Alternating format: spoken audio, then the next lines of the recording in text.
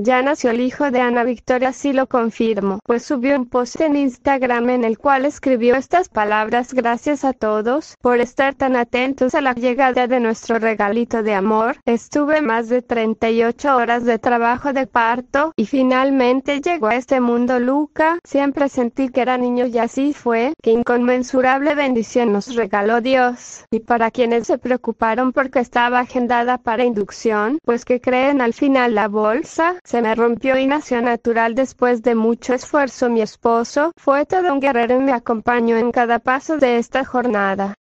Por otra parte, Diego Verdaguer posteó esto. Hace apenas cinco días me estaba grabando con su hijo en su vientre y ya lo está amamantando.